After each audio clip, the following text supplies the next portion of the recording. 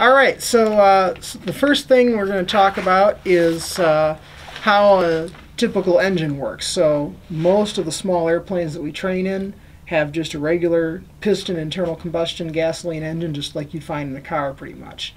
Um, most of the engines that we use are uh, what they call horizontally opposed. In the automotive world, they call that a boxer engine. So Subaru. uh, Subaru, They're the uh, big ones. Volkswagen, the older Volkswagen engines. In fact, here in Figure 7-2, they show a horizontally opposed engine, and this engine that they show in Figure 7-2 is actually a Volkswagen.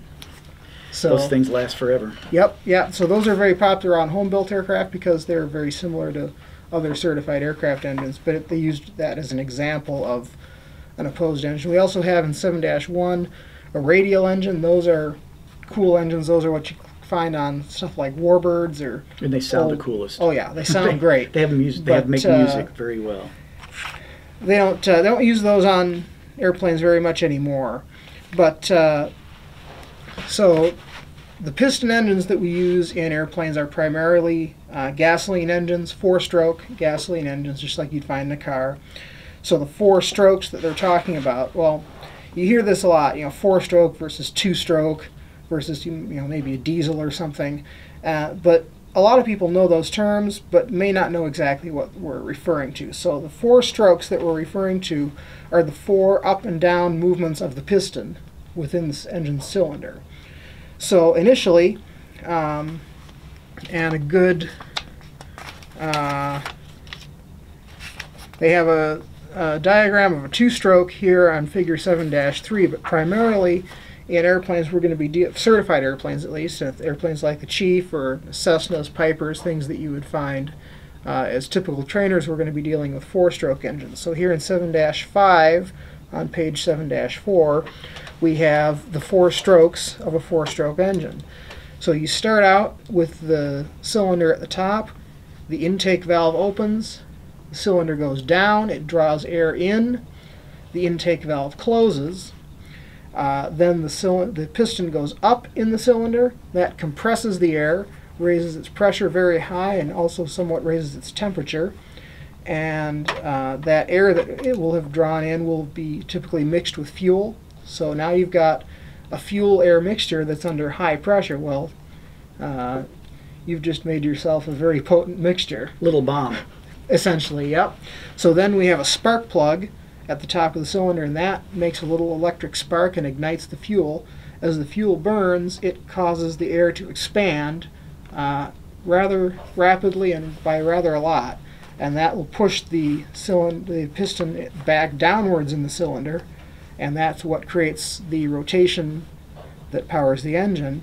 Now you've got the piston at the bottom of its stroke, uh, but you've got a whole bunch of exhaust fumes. So the exhaust valve opens, piston goes back up and expels the uh, exhaust, and you start cycle over again. So we, we uh, sometimes refer to these four strokes. Uh, the official uh, names you have the intake stroke, so that's where the piston goes down, draws air in. Compression is where it goes back up again and compresses that fuel air mixture.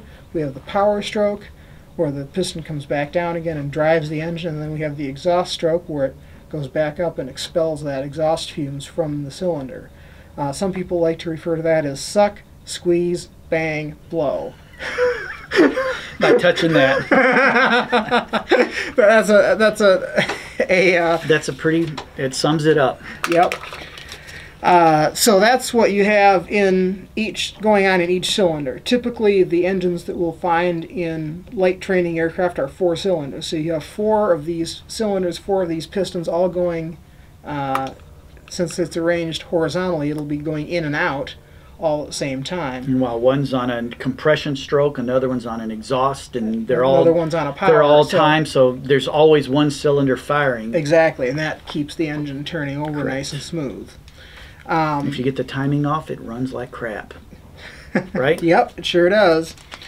Um, so then, uh, typically also in the uh, engines that we find in light training aircraft, and this is a little bit different from what you'd find in a car, for example. These are just direct drive engines. So rather than going into a gearbox transmission. or a transmission where that you'd find in a car, uh, the engine is just hooked straight onto the propeller. So the engine spins, it spins the propeller. We talked a little bit about propellers last time, and the spinning of the propeller creates thrust. Um, now so we- when we see 2100 RPM on our tach from our flying lesson, Right. That's exactly how fast the prop's going. That's how There's fast- no gearing whatsoever. That's correct. That's how fast the engine's going, and that's the, also the same speed the prop is going because they're just bolted one to the other. Um, the other uh, thing to talk about is uh, a couple different kinds of propellers. Uh, the Chief and most light training airplanes have uh, what's called a fixed pitch propeller. It's just basically a big hunk of aluminum or wood or fiberglass or whatever kind of material that they've chosen to make propeller out of, shaped into a propeller shape. That's you know about as simple as it gets.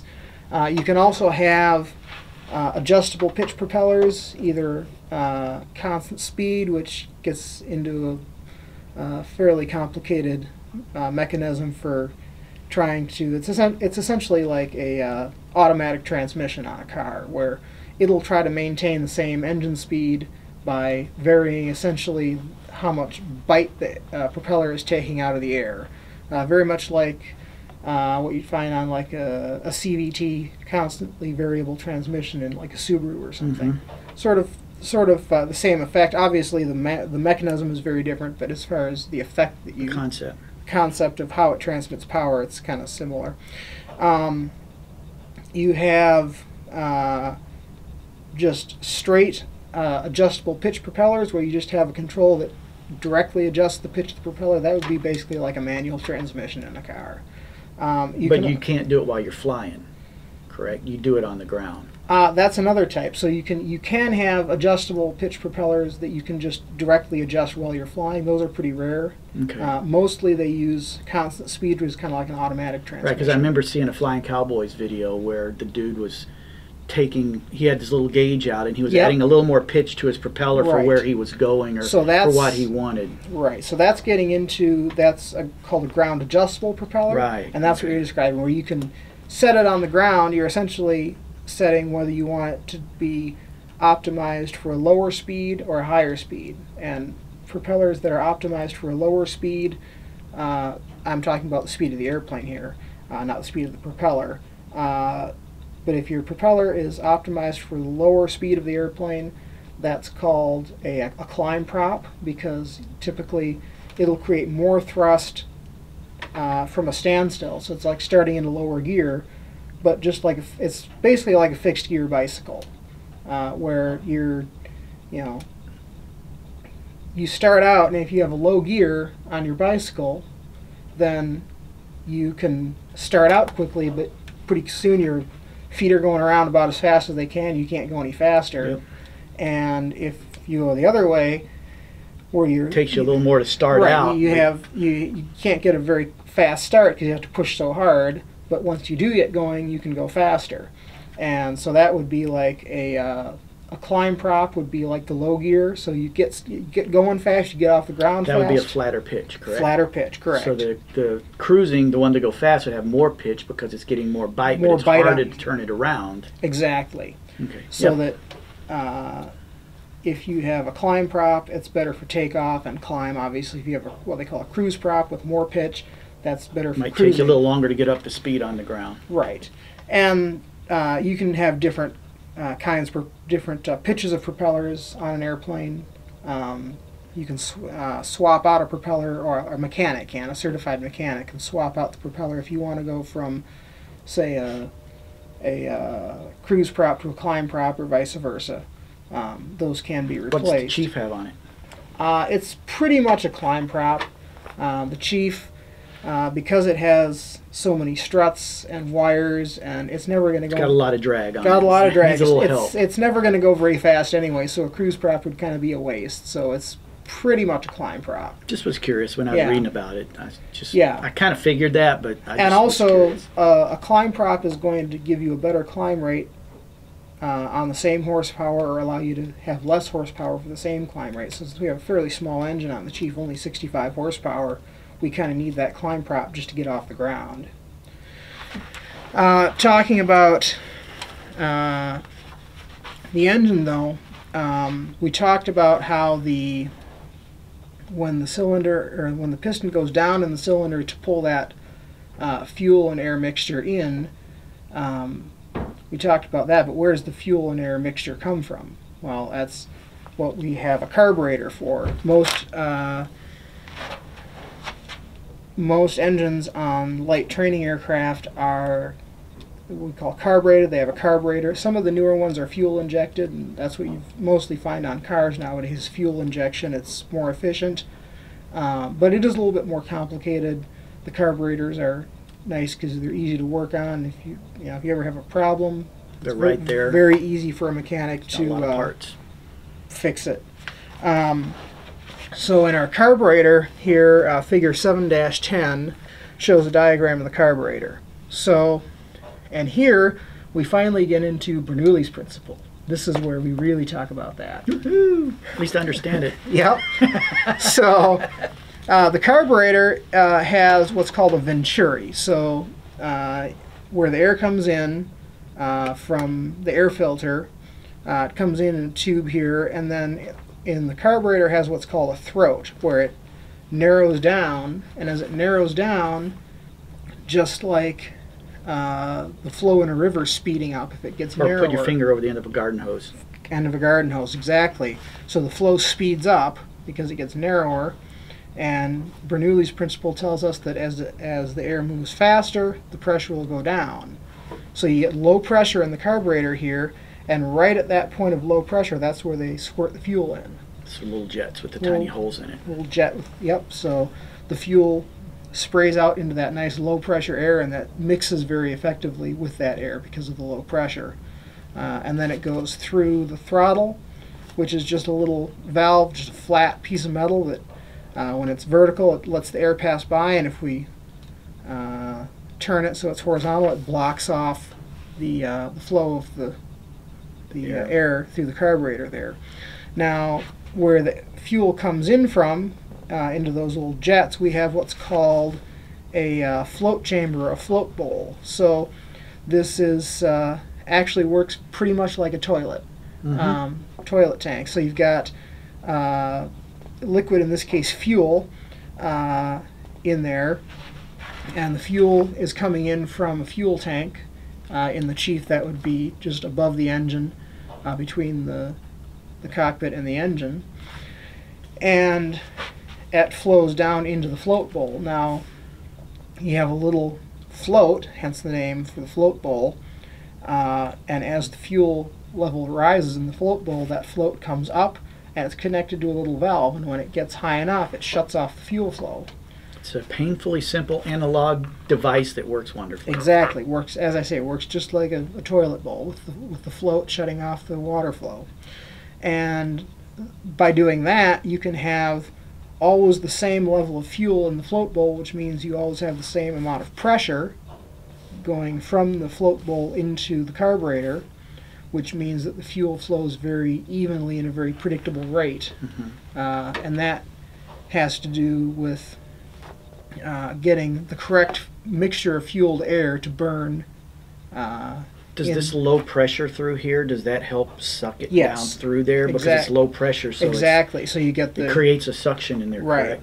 so you get the, the pressure of the fuel just sitting in the tank creates a little bit of pressure, and then uh, as it goes out into the venturi into that very low pressure area, as you say, it sort of sucks the fuel out into It's almost the like a mini fuel pump.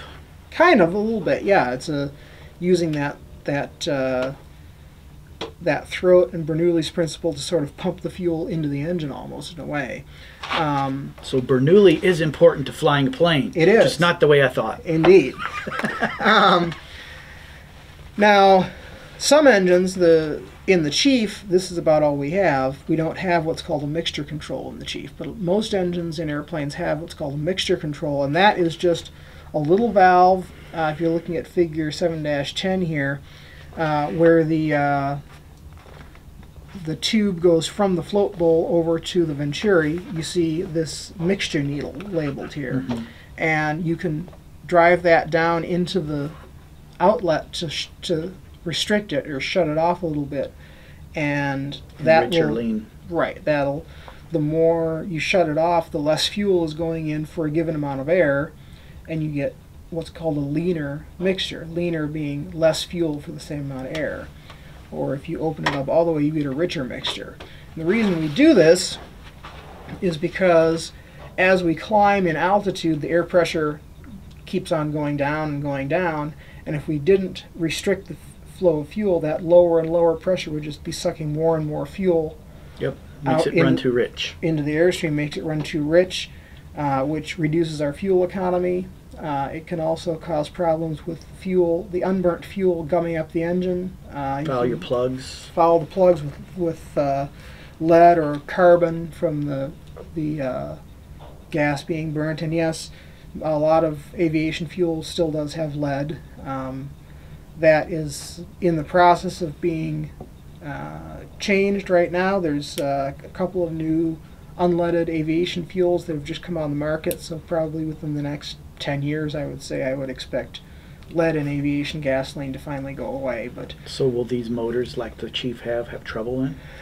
Some of them may, but uh, the Chief's engine is uh, has low enough compression in the cylinders and has uh, low enough temperatures that it, it can al- it can already burn uh, just regular unleaded automotive gasoline, and in fact that is uh, what we burn sometimes in that airplane. Is just regular unleaded automotive So the gasoline. mixture, the mixture thing, we don't have a mixture control, but I'm assuming there's a mixture needle on the carb. There that is. A mechanic sets and tunes Correct. the engine to run best at there is whatever. Right. The best at a certain altitude. So around here, you probably tune it to run best about 2,000 feet above sea level, since that's It's kind of halfway in between where we sit, start, and where we stop when we climb. right. So we're about a, a thousand feet plus or minus uh, on the ground around here, and most of the time this airplane is going to be flying around about a thousand feet above the ground. So that's about 2,000 feet above sea level.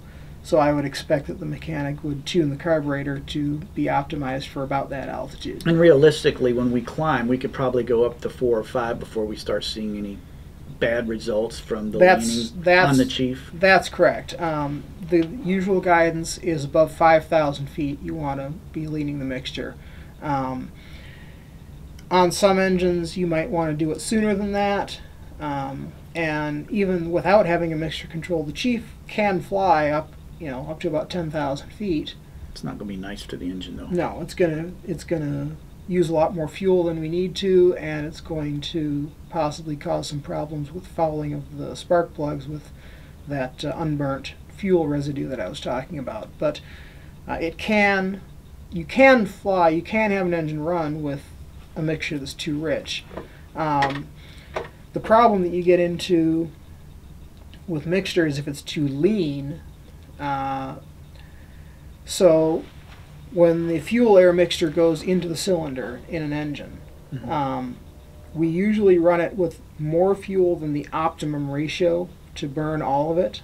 And the reason we do that is to help keep the engine cool. Yep. So the the fuel that's not burned um, will actually go out through the exhaust valve, uh, still not burned, and that will actually, as it evaporates, it will help to uh, cool the exhaust pipe, which otherwise can get very hot. Uh, the uh, Chief doesn't really have an exhaust gas temperature gauge, but on newer airplanes that do, you'll see around 1300 degrees Fahrenheit on that uh, exhaust You don't want to be temperature. Yeah.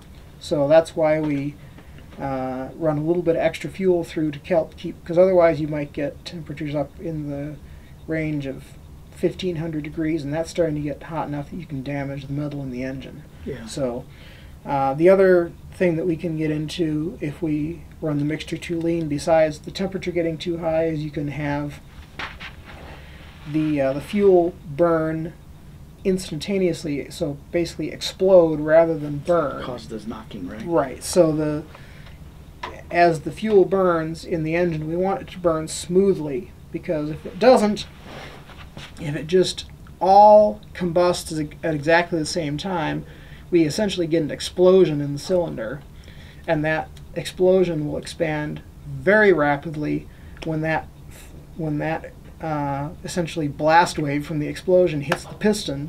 it'll do it very violently, and that's that causes what we call knock, where uh, you can actually feel that if the uh, if the engine is running much too lean, um, the sort of vibration of the engine will take on sort of a a very harsh uh, quality to it, and that's because of that that. Uh, Way back in the day, all my first cars knocked.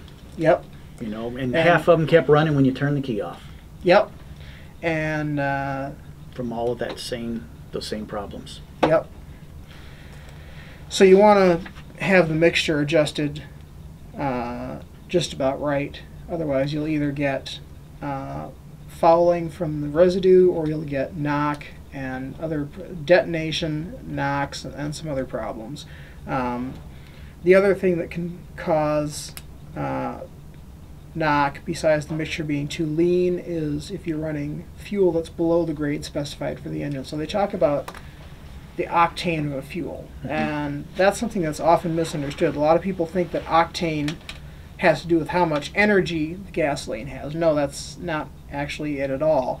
Uh, gasoline, all gasoline has about the same amount of energy. The thing that's changing as you boost the octane level up is the amount of uh, cooling that that fuel can provide. So as that fuel uh, burns or, or as the unburnt fuel evaporates in the engine, how much is it helping to keep the engine cool?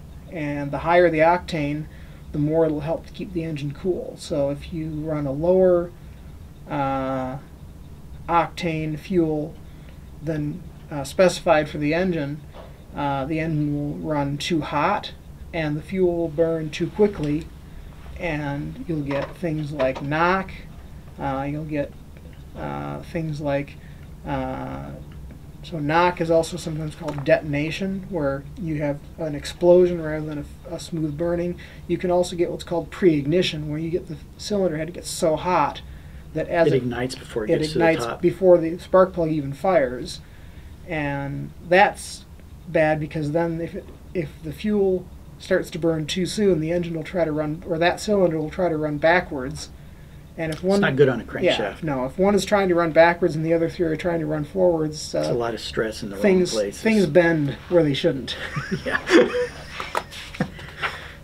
Um, so another thing to realize about a carburetor, uh, we talked about how in this throat, uh, Bernoulli's principle tells us that the pressure of the air will go down.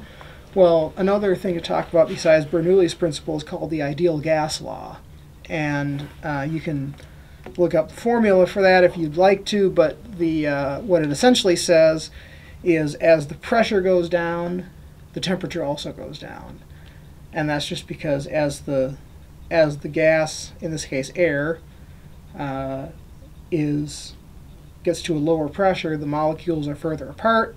They don't hit each other as much, so the temperature goes down. Um, so the temperature of the air as it goes through the carburetor goes down. It can sometimes go down by quite a significant amount. It's, what 50, 60 degrees. yeah. So So we could be it- flying on a seventy degree day, and it could be twenty degrees inside. 20 degrees inside the carburetor yes so the and adding to that also is when the fuel evaporates that also That cools, cools it cools it down and so what can happen is particularly if the air is very humid you have a lot of water in the air as that air flows through the carburetor all that uh, air gets much colder it can go below freezing and all that water vapor in the air can flash freeze and actually stick to the sides of the carburetor throat. So here in figure 7-11, uh, you can see how uh, you've got your nozzle here that sprays the fuel in, and then just after that, uh, where the pressure of the air is low and where the fuel is evaporating, uh, that'll drop the temperature enough that the water vapor in the air will freeze onto the sides of the carburetor and also onto the throttle valve. And when it does that, the throat just starts getting smaller and smaller, and at a certain point, it can't let enough air through anymore to let the engine breathe. So that can actually cause the engine to initially run rough and potentially fail if enough ice builds up. So the way we get around that is we have carburetor heat. So the in the air inlet uh, can take air from inside the engine compartment, run it over the exhaust pipe to heat it up, and then into the carburetor. So if you're if you've got air that's say let's say the air coming in is 50 degrees and the uh, the temperature drops by let's say uh, 30 degrees so now your your air temperature inside the carburetor is uh, 20 and that causes the water vapor to freeze um, if you put carburetor heat on well that air coming over the exhaust pipe gets heated up to maybe 120 130 Won't take degrees long to fix it. and it melts the ice and opens the, car- the throat of the carburetor back up so the engine can breathe again. So if we're and the Continental engines like we have on the Chief are particularly susceptible to this um, because the way Continental built their engines, the the um, oil tank is just a separate tank below the engine, and the way Lycoming that builds uh, most engines on small airplanes are either Continental or Lycoming. Those are the 2 Mhm. primary companies that build the engines. The way Lycoming designed their engine, they had the oil tank with a hole in the middle where the air comes up through it. And so you always have some amount of carburetor heat on even when Because the oil's heated up. the oil is heated up, so the air passing through the oil tank gets heated up. So it's already somewhat warm, so the Lycomings are much less susceptible to that. The Continentals just come up through a tube that's separate, and so the air is much cooler, and that can cause carburetor icing sooner than it would ha- happen in a Lycoming. The Lycoming also has the carburetor heating system to pass air over the exhaust pipe, like I talked about, but since it starts with a little bit of heat to begin with, it doesn't need as much to fix the problem. Right. So here in figure uh, 7-12, we have a chart that shows you the uh, outside air temperature from 20 degrees Fahrenheit up to 100 degrees Fahrenheit and the relative humidity of the air, so from 50% up to 100%. And it's showing you that the place where carburetor icing is most likely to happen is if you're above 80% humidity and below a temperature of 70 degrees Fahrenheit. So that Spring. whole area, yeah, spring and fall essentially. Well, fall not so much because it tends to be drier around here, but as you say, spring. Even into summer because it's very humid during Yep. the summer a lot of times. So from you know April, May, June into July, um, get to August, maybe it's getting a little bit warm for that, but uh, you're going to get um, the most chance of carburetor icing at that point. Um, you can also have fuel injected engines, which is obviously what you find in most cars these days. Um, they talk a little bit about that here in uh, Figure 7 13. Uh, you have, uh, in this case, you'll have a fuel pump, uh, which will just deliver pressurized fuel directly to a uh, fuel manifold that will distribute it through little It sprays lines or little- pipes. Little s- m- sprays mist down. sprays of a little mist of fuel directly into the cylinder. This is much more efficient. Um, you get, can get much finer control over how much fuel goes in because rather than just having that low pressure sucking the fuel out, you actually have a, a mechanical pump and, and valves which can very precisely control how much fuel goes in. But uh, And nowadays with the computers, they're sensing outside temperatures and humidities and exactly, pressures and, exactly, and that and metering it to be Yep. just perfect. So you'll find in car engines and in some of the very newest airplane engines, you'll find all that computer controlled valves and stuff and pumps to get, as you say, get exactly the right amount of fuel and get the most efficiency. Um, but in the Chief, which was designed in, you know, the engine in the Chief was designed in 1936, 1937. Same Um, engine, huh? Wow. Yep. And uh, that's the thing is up until uh, about 10 years ago, engine design hadn't really changed since about 1950 for airplanes. Um, most of the uh, Cessnas and Pipers that are running around are uh, running engines that were designed in the early 1950s. And they're not retrofitting them with fuel injection. Uh, some of them have, you know, the, the newer ones have been retrofitted with fuel injection, but it's still the same basic engine. Yeah. Um, another thing here they talk about is you can have uh, t- uh, supercharged or turbocharged engines in airplanes just like you can in cars. um, gives you a boost in power. Uh, this is something you probably won't encounter unless you go into commercial pilot training or you fly a very fast uh, airplane. Basically, it's taking the air coming in, whatever pressure was to go higher, the pressure's lower. Yep. The supercharger runs off the engine, Yep. the, the motor of it, and it Yep. compresses It's that like air Basically, a little before it- compressor on the back of the engine. right before it goes into the fuel mixture, and then the turbocharger runs off of heat exhaust, so it's a little more efficient, Yep. but it gets your oil a lot hotter. Yeah. I've read a whole lot about those because I used to be a little bit of a car nut. Oh yeah. So I, Yeah. I, I get how And those work, and I remember reading all about the Spitfires and the P-51. Yep. Couldn't keep up with the Spitfire because their first version didn't have a supercharger. Yep. You know, Exactly. above about 5,000 feet, it was useless. Exactly, and that and you bring up a good point there, which is in cars, the uh, supercharger or turbocharger is just used to pack more air into the engine and get more power out of it. In airplanes, you can use it for that, but you can also use it to keep the uh, the air pressure coming into the engine higher as you go up in altitude. So as you go Right. up, the air pressure goes down. You get less air, you can make less power, but the turbocharger the can put it back supercharger, to the 2,000 foot level, and right? and your engine keeps running right up to 10 or 15,000. you know, you'll find that in warbirds. You'll find that in some very high performance airplanes like some of the Mooneys or Cirruses these days. Um, but that is getting into airplanes that uh, we're not likely to fly. And uh, if you do fly those airplanes, you're typically going to be getting a uh, high performance endorsement, Yeah, there's a Um, lot of training that goes along with and you them. would you would study that considerably more, getting that endorsement to operate those kinds of airplanes. So, for now, I think we'll move on to uh, other uh, aspects of the engine. Uh, so we've talked about the four uh, cycles or four strokes of the engine. We've talked about how the fuel gets into the engine. Um, and we've talked about how the spark plug ignites it, but how does the spark plug get power? So, in in a car, uh, you'll find that just the battery will run those spark plugs through a distributor or something like that.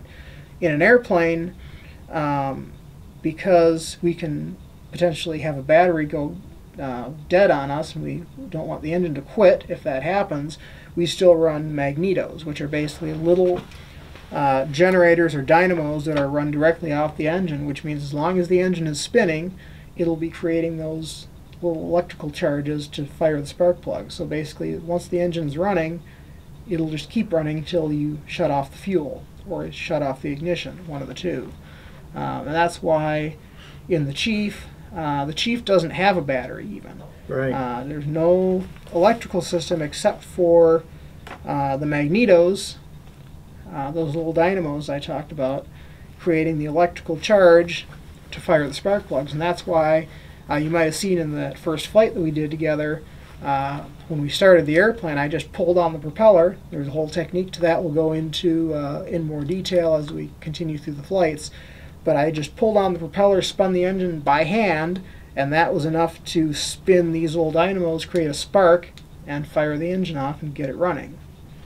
Um, and old cars like Model Ts and Model Yep, A's and stuff like that, you have the hand crank. That's the same exact thing. Those old cars had magnetos uh, because those were very reliable. Uh, a battery can go dead or lose charge. A magneto, as long as it's it's a simple so- old analog technology that just works. it just works. Uh, and There's not much to it to break other than a ground wire coming off. and if it, gro- ground wire comes off, the only problem then is you can't shut it off. Or if it's sitting still and it comes Right. off, it can be ugly when you Yeah, yeah, yep, yep. Uh. See, I did read all that. Yep, very much. um, so uh, we talked about that.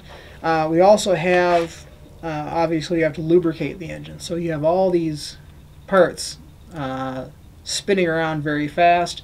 Uh, if you have metal on metal uh, moving that quickly, it would tend to just wear itself down to nothing. So we use oil to uh, lubricate it, get a little film of oil between all the moving parts of the engine so it doesn't wear down. And in order to deliver oil to all the parts of the engine that are moving, uh, we have an oil pump, and usually we have an oil tank down at the bottom of the engine. And most engines are what they call wet sump, where all the oil drains down into the tank and then gets pumped back up into the engine again.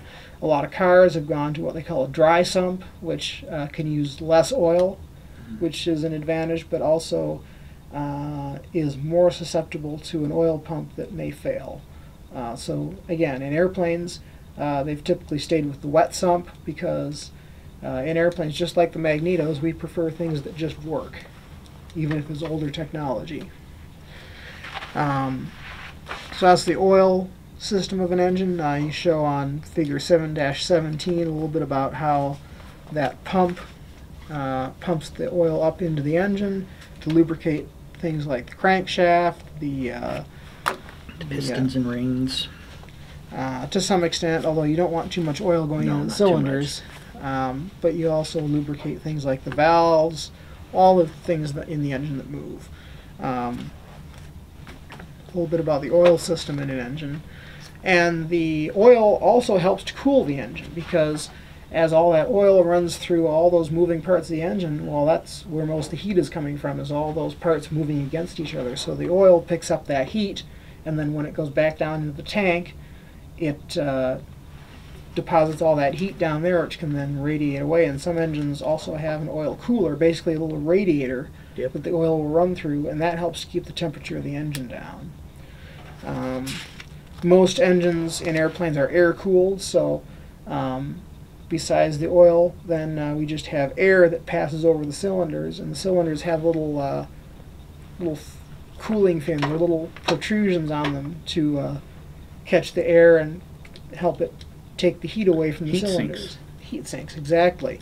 Um, and this is again very much like a, an older VW engine, and that's part of the reason why they're used in home-built airplanes is because they're air-cooled engines, so they are already They're easy to work on and they run. they're easy to work on. They run, and they're already pretty much set up the way this uh, airplane engine would be anyway. So on home-built aircraft, those are used uh, quite extensively. Still today. Yep.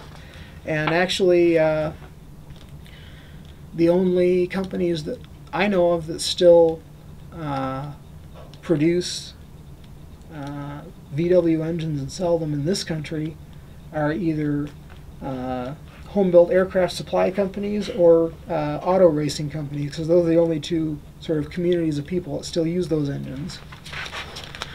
Uh, you also have, we talked about how the uh, magnetos create the spark, the electrical charge to run the spark for the engine, but we also have electrical systems in airplanes for other things. The Chief obviously doesn't, but in most of the, of the Cessnas and Pipers that you'd find as trainers, uh, we have an electric starting motor, so we don't have to hand prop the airplane like the Chief.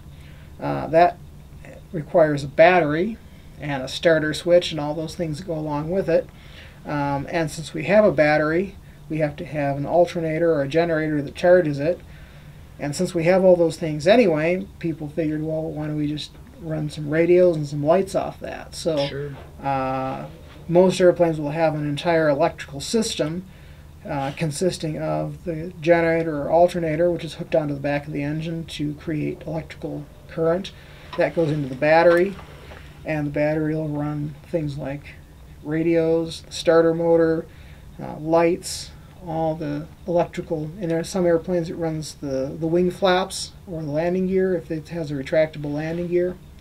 Um, all those things will run off the airplane's electrical system.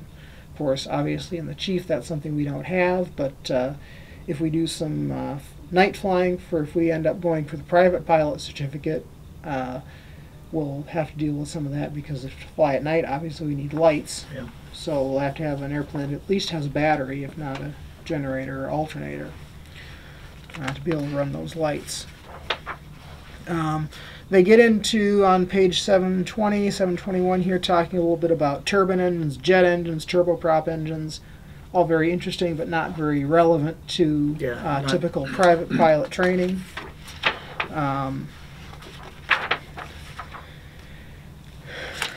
talked uh, a little bit about the fuel uh, system, but also um, in uh, in airplanes we typically have either uh, two kinds of fuel systems: either a gravity feed, so that's where the, f- the fuel just flows downhill High through, through the force of gravity. High wing airplanes, or like the Chief, just have has a uh, fuel tank that's just almost directly above the engine, so the fuel can just flow directly down into the carburetor, or like in Cessnas, uh, you would have, as you say, fuel tanks in the wings, so that the fuel can just flow down into the fuselage and into the carburetor. Very simple, it just works. But uh, if you want to build a low wing airplane like the Pipers or uh, Cirruses, various different airplanes that are popular these days, um, you have you still have the fuel tanks in the wings, but now they're down below the engine, so you have to have a fuel pump to force the fuel up into the engine, into either a fuel injector or a carburetor, in order to uh, have the engine run. And those airplanes usually have a uh, fuel pump that's just gear driven directly off the engine, and if that fails, they also have an electric backup that can run off the battery to provide fuel to the engine. Um, They have more information on aircraft electrical systems here on page 7-31. They get into considerably more detail about how they set up the electrical systems with different buses. A bus is just a big bar of metal. Power distribution. How this distributes electrical power to various different pieces of equipment. And you have circuit breakers, obviously, to protect That's against where all your fuses short circuits or overvoltage, things like that.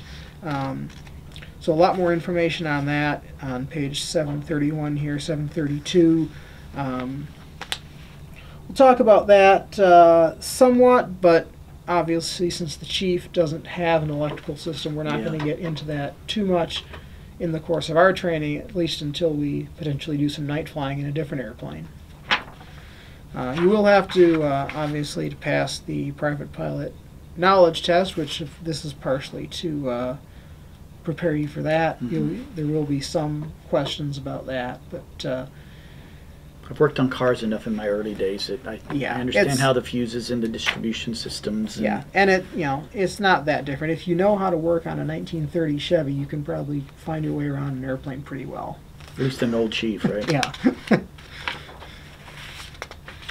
um, something else that uh, we will not encounter in our flying, but that definitely will come up on the test, so we'll have to talk about it here, is oxygen. So, uh, oxygen for the pilots and the passengers. So, as we fly higher and higher in altitude, obviously the air gets thinner, uh, which means there's less air for us to breathe, as well as less air for the engine to use and less air over the wings. Uh, but as we uh, climb higher in altitude, we have less and less air to breathe, and you can get uh, into a condition called hypoxia, where you have uh, not enough air essentially to sustain you, and you can. It uh, has effects that are. It varies in different people. Some people get you know nauseous, sick to the stomach. Other people find it to be like being drunk. Um, you can get various problems, but to get around that, uh, anytime that we're at high altitude, we want to make sure that we have oxygen supplied. So there's a couple different ways to do that. One is larger airplanes like airliners or uh, large business aircraft will have pressurized cabins where they take a uh, essentially very much like a, a uh, supercharger, except instead of hooking it up to the engine, they hook it up to the cabin. So you're essentially supercharging your Yeah. cabin where the the people are down. sitting. Keep that pressure, keep that air pressure up so that you can breathe just like you would if you're sitting on the ground. So that's one way to provide air. Um, but if that pressurization fails, or in airplanes that are small enough pressurization is not practical, uh, we have oxygen that's which is usually stored in like a bottle or an oxygen tank, almost like a scuba tank, but uh, they're slightly different for aviation use uh, which would be delivered to a mask or a, a nasal cannula uh, to deliver oxygen to you so you can breathe effectively up to higher altitudes. So, um, Generally, it's about ten thousand feet when you have to start worrying about that. thereabouts, yes. The guidance uh, for pressurized airplanes, if the pressurization fails, is you want to get down below 10,000 feet. Now, as far as regulation, and this is what will be on the test, uh, there's a few numbers to remember. So, uh, if you climb higher than 12,500 feet and you stay there for more than 30 minutes, then you'll need oxygen for the pilot. Okay? Uh, and that one's kind of hard to remember, but Uh, the reasoning behind that is they've determined that above that altitude, if you're above that for long enough, you'll start to the oxygen levels in your blood will start going down. You'll start being, you know, impaired judgment or uh, decreased color vision, a number of different symptoms you can get from that. So uh, once you climb above 12,500 feet, uh, if you're up there for more than 30 minutes, you need to have oxygen. Okay. Um, now, of course, the chief, we're not going to get much above 10,000 anyway, but you will need to know this for the test. The next altitude to remember is 14,000 feet. Above 14,000 feet, uh, if you're above that altitude for any length of time, the pilots need to be on oxygen. Okay, uh, so 12,500 feet and above, uh, if you're there for more than 30 minutes, you need oxygen. But when you get up to 14,000, if you're above 14,000 at all, pilots need oxygen. Next altitude and final altitude to remember is 15,000 feet. Above 15,000 feet, passengers must be provided with oxygen. It's interesting to note that the regulation says provided with, does not say use. They are free to pass out if they so choose. Might help them if they're afraid to fly. Let's just go to 15,000. But uh, so those are the, the big numbers to remember. They do have a chart here in figure 7 41 showing uh, how the pressure decreases with altitude, a few things about that. Uh, talk considerably about different oxygen systems here, page 736 to 737. Um, and they talk about different masks that you can wear to get oxygen. So the simplest type that I talked about was the nasal cannula. That's just a little tube that comes, you know, hooks around your ears, comes and just sort of squirts it up into your nose so that you can have more oxygen to breathe.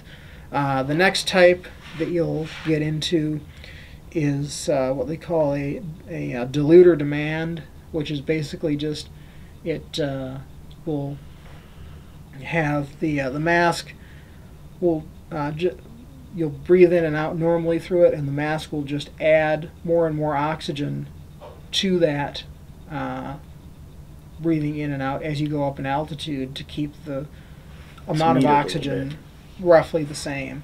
And then finally, you get what's called a pressure demand type, where that's basically like a scuba mask.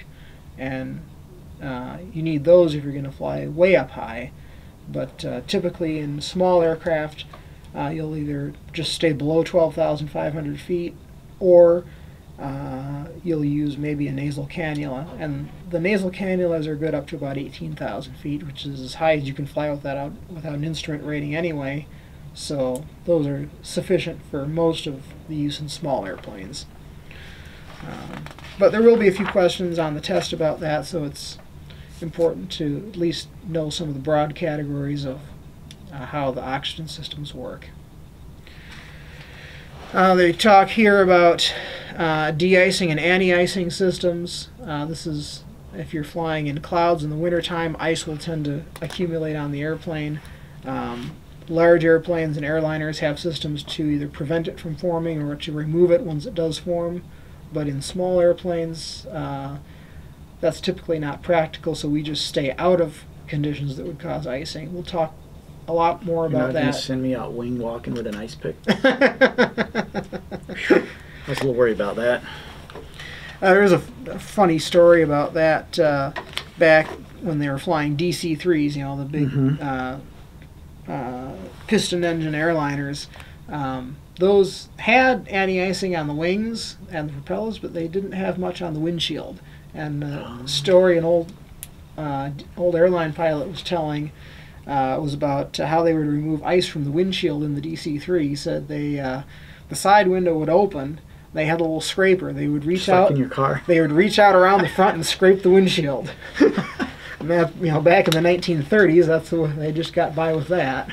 Uh, nowadays, if you uh, if you uh, Well, it wasn't gonna- pressurized, so no, if you're going to fly uh, in icing conditions, you have a lot more systems nowadays on modern airplanes. But uh, in the we won't of- be going there. we won't be going there, and uh, obviously the chief doesn't have any of that, and even most of the Cessnas and Pipers that you'd be flying as a private pilot would not have that. Um, And that concludes our uh, section on Aircraft, aircraft systems. systems. Sweet. Uh, so, any uh, reflections or uh, questions? no real on questions This? on that because a lot of it was very similar to car mechanics. And my dad Very raised me to work on my own car. Exactly. me to do it now, not going to happen. But I understood the four stroke, I understood the supercharger and turbocharger. Yeah. Those all make a lot of sense. Some of Yeah. the, the pressurized systems and stuff like that.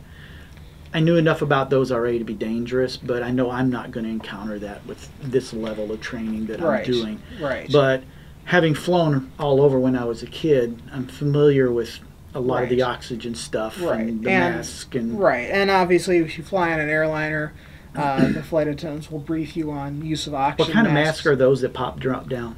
Those are essentially uh, basically a cannula, except just with a little, you know, A little, little cover on it. Um, and those are interesting because in airliners, uh, since they're designed only for single use, just enough to get you down to the ground, um, they don't actually use an oxygen tank anymore. They use uh, a little canister that has two chemicals, and off the top of my head, I couldn't tell you what how long does that are. last for? Last, depending on what kind of airplane it is, uh, the higher the airplane flies, the longer they have to last for. But usually they last for about 15 minutes, Mhm.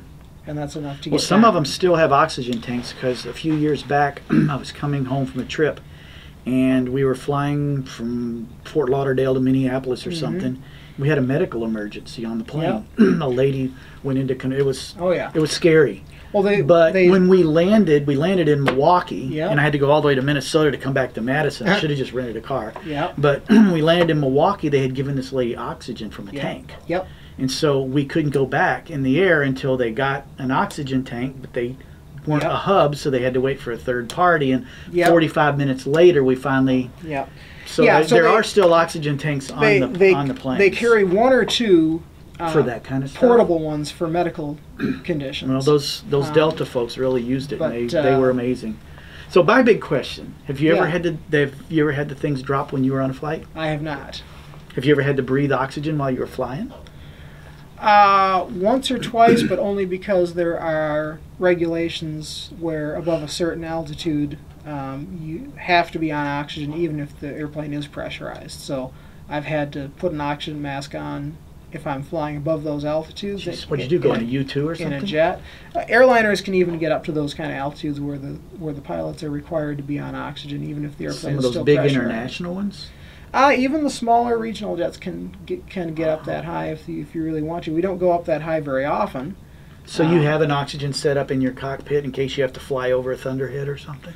Uh, that's correct. yes. So you can go up to 40, 45 or something, throw the mask on, and in the cabin air will be fine. yes, Okay. yeah, uh, and the reason that we're requ- that airline pilots are required to wear it, even if the airplane's pressurized, if you're over a certain altitude, is not because there isn't enough air to breathe in the cabin. It's just that if the cabin were to depressurize, you wouldn't have time to put it on. Yeah, they need to be ready to go. Yep.